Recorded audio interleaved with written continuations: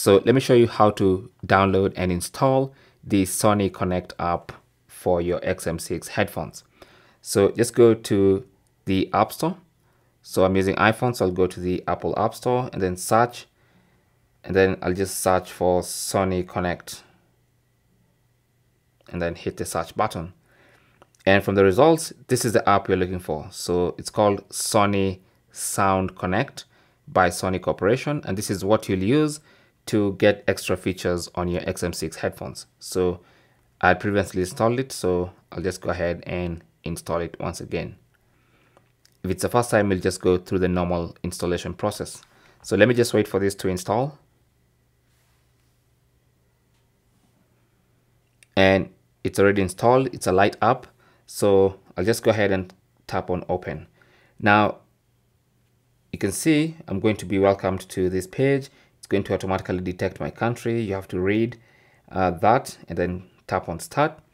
And then you have your privacy policy as usual with any new app. Read and then tap on next. And then tap on agree and start using. Now it's going to say Sound Connect would like to send you notifications. Now keep in mind that I've already paired these headphones to my phone via Bluetooth. All right. So I'll just go into click on allow. Sound Connect would like to send you notifications. Click on allow. And that's it. So you can see my WXM6 have been detected. I'll just click OK.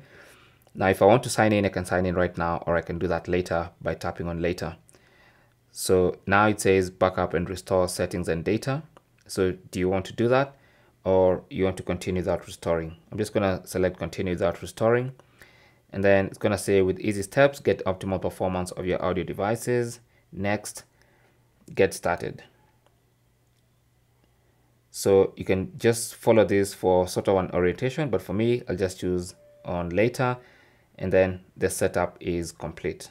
Okay, so you can now go to tutorial if you want one and uh, just read and understand your headphones even better or you can just close this and you should be good to go.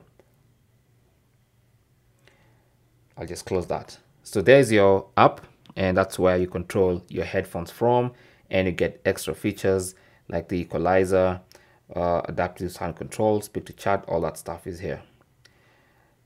So that is basically how to download, install, and set up the app, or rather the Sound Connect app for your WH1000 XM6 headphones. Thanks for watching. Don't forget to like and subscribe. And if you have any comments or questions, talk to us in the comment section. Good luck.